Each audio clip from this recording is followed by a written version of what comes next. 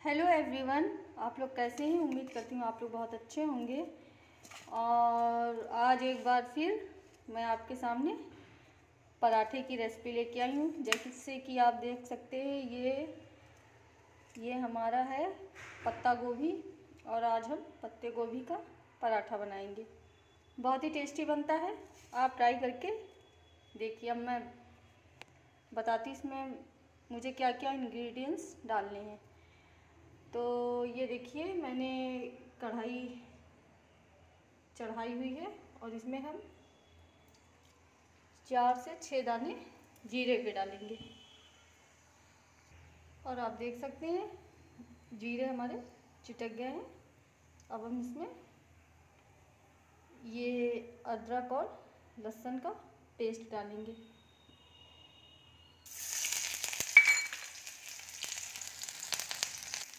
और उसके बाद ये हम बारीक कटा हुआ प्याज ऐड करेंगे। इसमें प्याज हम ज़्यादा ऐड नहीं करेंगे, थोड़ा ही ऐड करेंगे तो देख सकते हैं अब इसको हमको महरून होने तक ऐसे ही भूनना है। थोड़ा सा मैं डाल दे रही हूँ मुझे कम लग रहा है। अब हम इसको महीन करके तो सॉरी, मैं इसको लाइट ब्राउन भूनूँगी और जैसे कि गैस आप देख सकते हैं कि ये लाइट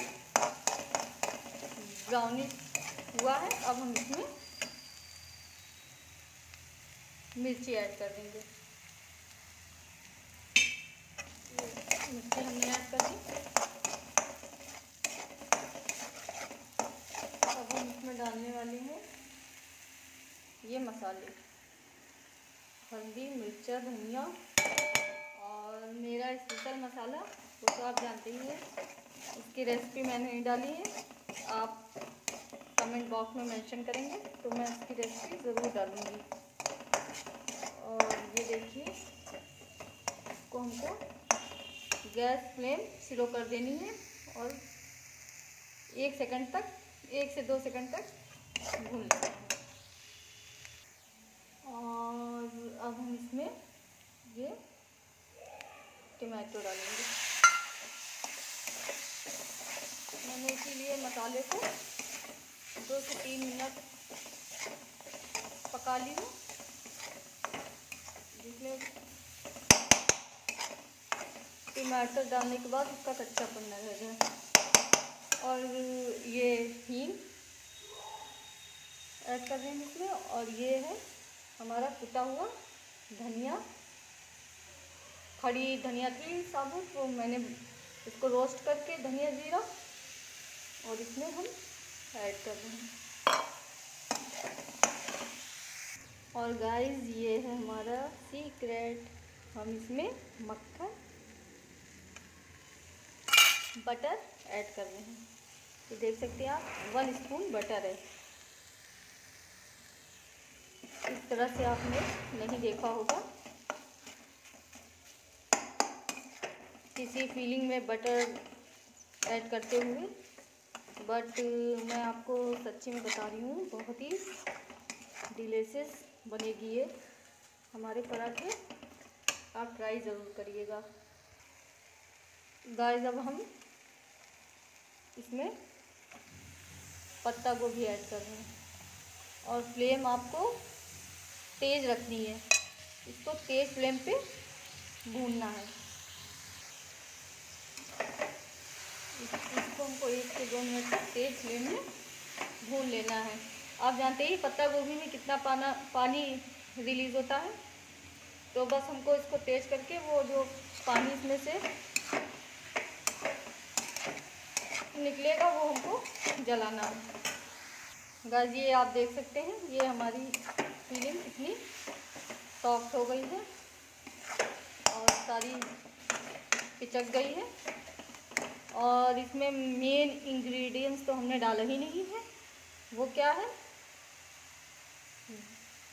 ये वो है जिसके बिना सारी रेसिपी बेकार है। वो है हमारा सोल्ट नमक। इसमें अभी हमने नहीं ऐड किया है। अगर हम इस टाइम इसमें नमक ऐड कर देंगे तो ये पानी रिलीज़ करेगा, काफ़ी ज़्यादा मात्रा में, जिसके कारण हम इसको फिल नहीं कर सकते हैं अच्छे से, क्योंकि हम इसको भून रहे हैं तेज़ फ्लेम पे और जैसे कि आप देख सकते हैं, इसमें मैंने नमक डाल दिया ये पूरा ठंडा हो गया, उसके बाद मैंने इसमें नमक मिक्स किया है। और आटा मैंने गूंद कर रख दिया था। और ये आप देख सकते हैं, ये हमारी प्लेन रोटी है। बट हम बनाने जा रहे हैं कुछ डिफरेंट तो मैं इसमें इस तरह से फीलिंग करूँगी। स्टफिंग इस तरह से हम इसमें करेंगे। ये देखिए।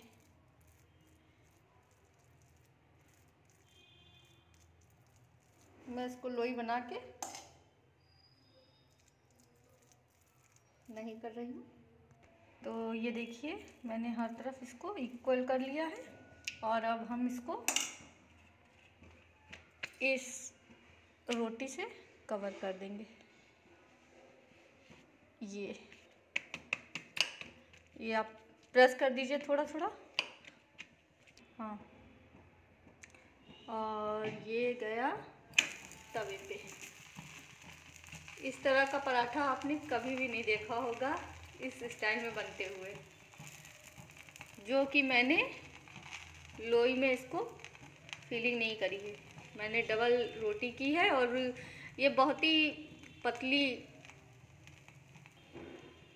पतली रोटियाँ हम मैंने बेली हैं। और ये देखिए, इस साइड से मैंने पलट दिया है। फ्लेम मैंने थोड़ी स्लो कर दी है और एक सीक्रेट तो गैस मैंने आपको बताया था, अब एक और सीक्रेट मतलब बता रही हूँ। मैं इसको मक्खन से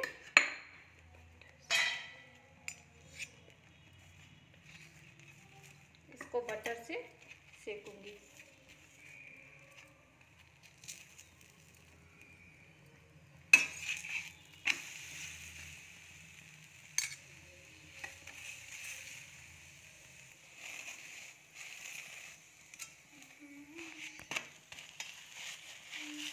और आप इसको अच्छी तरह से ऐसे ही सेक लीजिए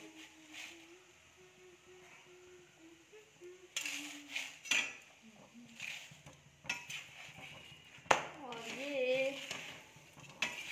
हमारा पराठा रेडी आप इस तरह से बनाइए। ये मैंने मंचूरियन। ले लिया है और ये थोड़ी सी प्याज है। और ये आलू का भरता है हमारा। और मेरी वीडियो आपको पसंद आई तो प्लीज़ लाइक सब्सक्राइब करना मत भूलिएगा।